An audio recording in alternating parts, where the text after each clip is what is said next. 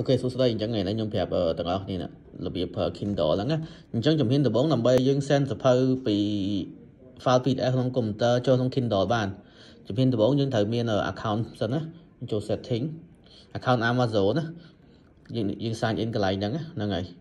យើង sign in កន្លែងហ្នឹងបើ sign អត់កើតទៅយើងបង្កើត account Amazon មួយមកណាពេលយើង sign in បានហើយដូចខ្ញុំនេះគឺខ្ញុំ sign in ហើយហើយ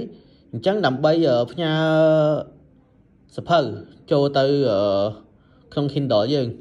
គឺយើងប្រើ email អីក៏បានដែរណាតបមកយើង send ទៅ email នេះដល់ពេលយើងបង្កើត account Kindle ហើយគឺវាមិននឹងមាន email នេះមួយឲ្យយើងអញ្ចឹងយើងគ្រាន់តែចុចចូលបាក់ Gmail យើង attach file ចូល email នេះទៅសភៅវានឹងចេញមកខាងក្រៅនេះហើយនេះនេះមិនខ្ញុំបានផ្ញើសភៅ The Heart of Leader នេះចូលក្នុង email របស់ Amazon ខ្ញុំដល់ពេលដែលខ្ញុំផ្ញើចូលហើយគឺបាននៅមើលនៅក្នុងនឹងបានហើយណា ហ្នឹងហើយហើយមួយទៀតនៅពេលដែលយើងអានជិះចូលសភៅអានចឹងហើយយើងចង់ជិះចេញមកក្រៅប៉ះខាងលើនេះណាហ្នឹងហើយជិះចេញមកក្រៅហើយអូខេចូលមក home ហើយអញ្ចឹងដើម្បីកណិត Wi-Fi អីយើងចូល setting អីធម្មតាទៅណាហើយកណិត Wi-Fi Bluetooth អីអីទៅណាហ្នឹងហើយចឹងខ្ញុំមានតែប៉ុណ្្នឹងចង់ចែករំលែកទៅកាន់អ្នកទាំងអស់គ្នាណាបើមិនជាអត់យល់អីអាចសួរខ្ញុំបន្ថែមខ្ញុំខ្ញុំជួយចែករំលែកបន្ថែមក៏បានដែរអរគុណបាយបាយ